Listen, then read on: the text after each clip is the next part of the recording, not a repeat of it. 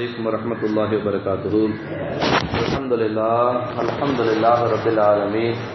وصلاة والسلام على سیدنا محمد اشرف المرسلین وعلى آلہ وصحبہ اجمعین، اما بعد۔ கண்ணியத்திற்குரிய அல்லாஹின் நல்லடியார்களே அல்லாஹ் சுபகான நம் அனைவரையும் நல்ல விஷயங்களில் ஒன்று சேர்த்து வைப்பானாக. அல்லாஹுடைய தூதர் சூரல்லாஹி சல்லல்லாஹோ அலேஹி வசல்லம் அவர்களுடைய கண்ணியமான சுண்ணத்தான நடைமுறைகளை எடுத்து வாழ்வதற்குண்டான வாய்ப்புகளை அல்லாஹ் தந்தல் புரிவானாக. உலகத்தில் வாழுகின்ற சமயத்தில் சக முஸ்லிமுக்கு செய்ய வேண்டிய கடமைகளை சரியான முறையில் செய்வதற்கும் எல்லோருக்கும் எல்லா விதமான கடமைகளை ஆற்றுவதற்குண்டான வாய்ப்புகளை அல்லாஹ் நமக்கும் நம் சந்ததிகளுக்கும் உலகில் உள்ள எல்லா மனிதர்களுக்கும் தந்து அருள் புரிவானாக. ஆமீன்.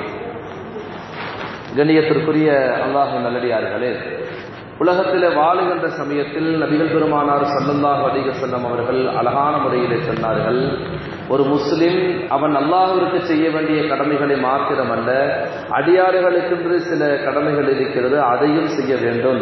அப்பொழுதுதான் அவன் உண்மையான முஸ்லீமாக இருக்க முடியும் என்றெல்லாம் பல்வேறு ஹதீஸ்களின் மூலமாக அந்த கருத்துகளின் மூலமாக நமக்கு ரிசலல்லாஹ் அலிகஸ்லம் அவர்கள் பாடம் எடுத்திருக்கிறார்கள். அந்த அடிப்படையிலே வெளிப்படையாகவே நபிகள் பெருமானார் சல்லல்லாஹ் அலிகஸ்லம் சொன்னார்கள் ஒரு மூமின் ஹக்குல் முஸ்லிமே ஆளும் முஸ்லீம். ஒரு முஸ்லீம் இன்னொரு முஸ்லீமுக்கு செய்ய வேண்டிய கடமைகள் ஐந்து. என்று சொல்லி முதலாவது கடமை ரத்து சலாம் சலாத்திற்கு பதில் சொல்லுதல் என்று சொல்லிக் கொடுத்தார்கள். இந்த சலாம் குறித்த சில தகவல்களை நாம் பார்த்து வருகிறோம். வீடுகளுக்குள் நுழைகின்ற பொழுது நாம் சலாம் சொல்ல வேண்டும் என்பது குறித்தும் யார் யாருக்கு சலாம் சொல்லலாம் எப்படி முந்திக் கொள்வது அதனுடைய நன்மைகள் என்ன என்பதையெல்லாம் நாம் பார்த்து வருகிறோம். அந்த அடிப்படையில் இன்றைக்கு இறுதியாக ஒரு சில தகவல்களை பார்த்துவிட்டு இந்த சலாமுடைய பாடத்தை நாம் முடிக்கலாம்.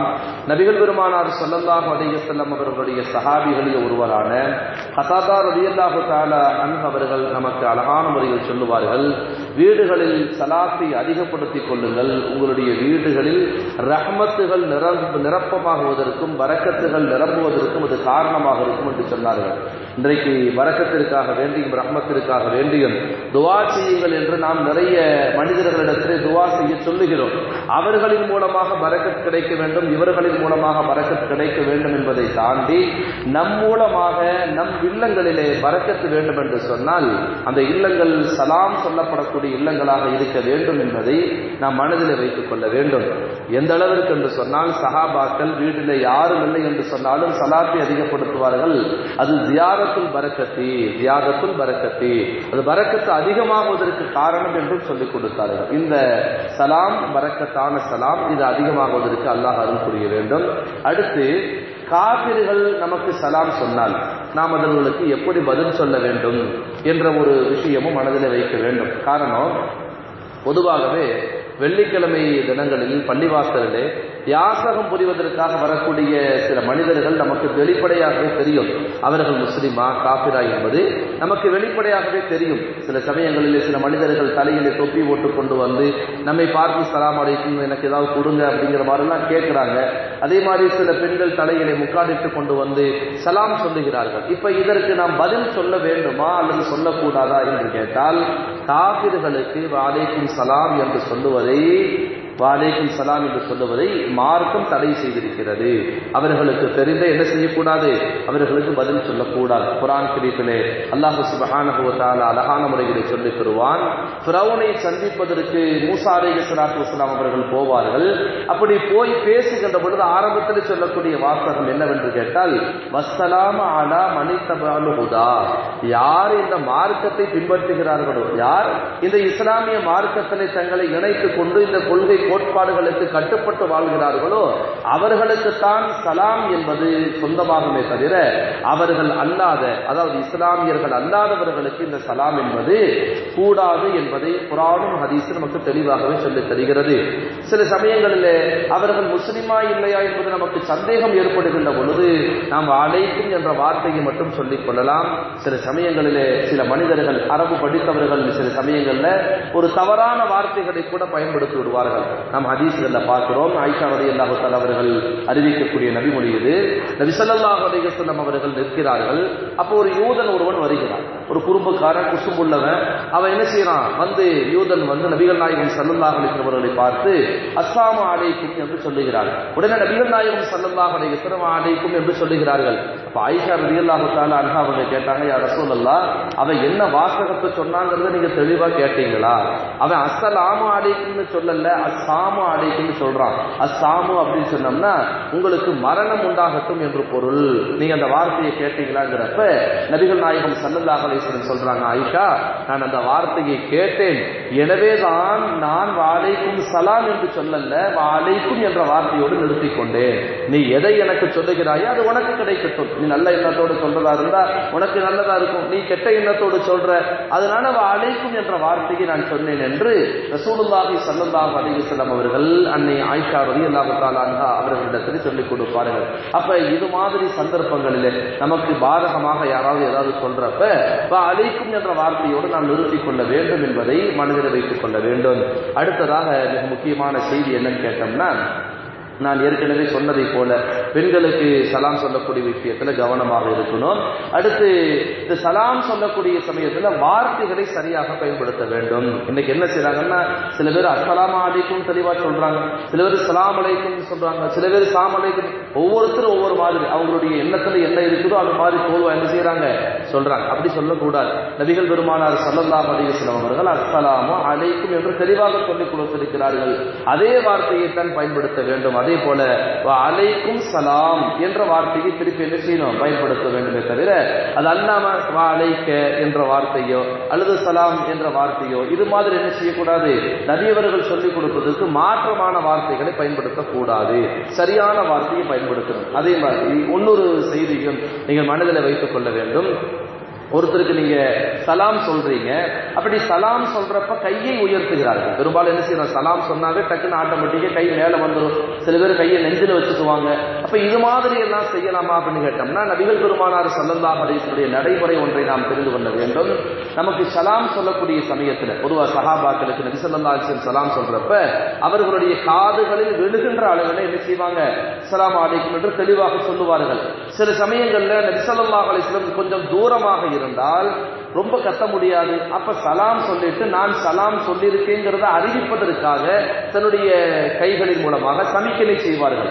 இதுதான் பழக்கமே தவிர நம்ம சொன்ன சலாமு அவங்க காதல விழுதுச்சா விழுகலையாங்கிற ஒரு சந்தேகம் ஏற்படக்கூடிய சமயத்துல நம் யாருக்கு சலாம் சொல்லுகிறோமோ அவர்களுக்கு நமக்கு மத்தியில கொஞ்சம் இடைவெளி அதிகமாக இருக்கின்ற பொழுது அந்த சைக்கிணை என்பது கூடுமே தவிர பொதுவா எப்ப பார்த்தாலும் கையை தூக்குறது அப்படிங்கிறது தவிர்த்து கொள்ள வேண்டிய மிக முக்கியமான விஷயம் என்பதை நாம் மனதில் வைத்துக் கொள்ள வேண்டும். அதே மாதிரி ஒரு சில மனிதர்களை நம்ம பார்க்குறோம். என்ன செய்யறாங்கன்னு கேட்டோம்னா அவங்க சலாம் சொல்றாங்க அது அவங்களுக்கே கேட்கறது அவங்க சில சமயங்களில் சலாம் சொல்லுவாங்க அது அவங்களுக்கே கேட்காது. இதுல என்ன கொடுமைன்னு கேட்டோம்னா பக்கத்துல வந்துட்டு அதுக்கு நான் உங்களுக்கு சலாம் சொன்னேன் நீங்க பதில் சொல்லல அப்படிங்கிற ஒரு குறையும் சொல்லுவாங்க. இது நம்ம மனசுல வைக்கணும். பொதுவாக சலாம் சொல்றப்ப யாரும் என்ன செய்ய மாட்டாங்க பதில் சொல்லாம இருக்க மாட்டாங்க. யாரு சலாம் சொன்னாலும் நம்முடைய பழக்கத்திலே வந்துடுச்சு என்னன்னா திருப்பி பதில் சொல்றது அப்படி. நம்முடைய பழக்கத்தில் யாராவது சலாம் சொல்லிட்டாங்கன்னாவே டக்குன்னு சொல்லிடுவோம். சில சமயங்கள்ல அவர்கள் வாழைக்கும் சலாம் என்று சொல்வார்கள். சில சமயத்தில் விளையாட்டுகள் என்ன செய்யறது? அசலாம் அடிக்க சொல்றது. வாழைக்கும் சலாம். நம்மளும் திருப்பி வாழைக்கும் சலாம்னு சொல்லிடுவோம். இது எதுக்காக சொல்றேன் அப்படின்னு கேட்டோம்னா நம்ம அப்படியே பழகிட்டோம். யாரு சலாம் சொன்னாலும் உடனே பதில் சொல்லக்கூடிய பழக்கத்தில் தான் இருக்கிறோம்.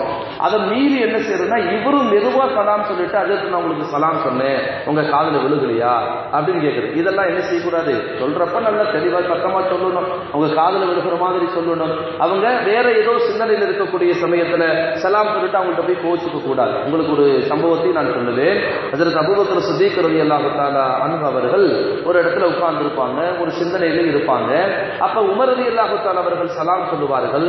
அபுபக்கர் சித்திக்கிறது இல்லாத பதில் சொல்ல மாட்டாங்க. பதில் சொல்லல. அபுபக்கர் சித்திக்கிறது இல்லாத கொஞ்ச நேரம் கழிச்சு ரெண்டு பேரும் வேற ஒரு இடத்துல சந்திக்கிறப்ப உமரதி இல்லாமத்துல சொல்லுவாங்க அபுபக்கர் சித்திக்கிறது இல்லாதவர்களே உங்களுக்கு நான் சலாம் சொன்னேன் நீங்க பதில் சொல்லல. எனக்கு கொஞ்சம் சங்கடமா போச்சு. எனக்கு கொஞ்சம் வருத்தமா போச்சு. அப்படிங்கிறப்ப அபுபக்கர் சித்திக்கிறது இல்லாத சொல்லுவாங்க நீங்க சலாம் சொன்னது எனக்கு தெரியல. நான் ஏதோ சிந்தனையில் இருந்தேன் அதனால நீங்க எதுவும் மனசுல நினைச்சுக்க வேணாம். அப்படின்னு அபுபக்கர் சித்திக்கிறது இல்லாத ரலியல்லாஹு அவர்கள் தன்னுடைய தங்கடங்களை எடுத்து சொல்வார்கள் என்று நாம் சரித்திரத்தில் பார்க்கிறோம். நான் எதற்காக இப்படி சொல்லுகிறேன் என்று சொன்னால் ஒரு சில சமயங்களில் சில மனிதர்கள் ஏதோ சிந்தனைகள் இருக்கின்ற பொழுது உங்களுடைய சலாத்திற்கு பதில் சொல்ல வேண்டும் என்று சொன்னால் உங்களுடைய சலாம் அவர்களுடைய செவிகளில் கேட்டிருக்காது அல்லது அவருடைய சிந்தனையில் பட்டிருக்காது. அப்ப சிந்தனையில படுற மாதிரி செவியில படுற மாதிரி என்ன செய்யணும்? நம்முடைய சலாத்தை சொல்ல வேண்டும் என்பதையும் நாம் மனதில் வைத்துக் கொள்ள வேண்டும். அடுத்து வாகனத்தில் போறப்ப சலாம் சொல்லக்கூடிய ஒரு சட்டத்தையும் நம்ம தெரிஞ்சுக்கணும். பொதுவாகவே வாகனத்தில் போகின்றவர்கள் தான் நடப்பவர்களுக்கு சலாம் சொல்லணும். நடப்பவர்கள் என்ன செய்யக்கூடாது? வாகனத்தில் போறவர்களுக்கு சலாம் சொல்லக்கூடாது அப்படிங்கிறது ஒரு மரபு. மார்க்க நமக்கு சொல்லித் தரக்கூடிய ஒரு நல்ல நடைமுறை. அதுவும் சில சமயங்களில் பார்க்கிறோம். கடுமையான டிராஃபிக்காக இருக்கும். இந்த ஒரு சில ஊர்களில் சில இடங்களில் நெருக்கடியான இடமா இருக்கும். வண்டியில் வேகமாக போயிட்டு இருக்கிறப்ப திடீர்னு சாமலிக்குன்னு ஒரு சத்தம் கேட்கும். கொஞ்சம் கடுமையாக சத்தம் ஆனால் யாரும் நமக்கு சலாம் சொல்கிறோம் அங்கிட்டு கிட்ட திரும்பலாம்னு பார்த்தோம்னா இங்கிட்ட ஏதாவது ஆபத்துகள் விபத்துகள் ஏதாவது ஏற்பட்டுரும். அதனால இது மாதிரி நெருக்கடியான இடங்களில் அதாவது விபத்துகள் ஏற்படக்கூடிய அச்சம் ஏற்படும் என்று சொன்னால் அது மாதிரி இடங்கள்ல நீங்க சலாம் சொல்லாம இருக்கிறதா நல்லது. சலாம் அப்படின்னு சொல்லிட்டு அவங்களுக்கு தண்டனையை கொடுத்துடக்கூடாது நம்ம சலாம் அழைக்கும்னு கட்டமா சொல்லிட்டு அவங்க எங்கேயாவது போய் இடிச்சு அது ஒரு அவங்களுக்கு சலாமா இல்லாம வேற ஏதாவது மாறிடக்கூடாது அப்ப சலாம் சொல்றப்ப என்ன செய்யணும்? வாகனங்கள்ல போறவங்களுக்கு சலாம் சொல்லக்கூடாது. வாகனங்கள்ல போறவங்க தான் என்ன செய்யணும்? நடந்து போறவங்களுக்கு சலாம் சொல்லணும். அதே மாதிரி ஒரு பெரிய மஜிலிஸ் ஒன்று இருக்குது.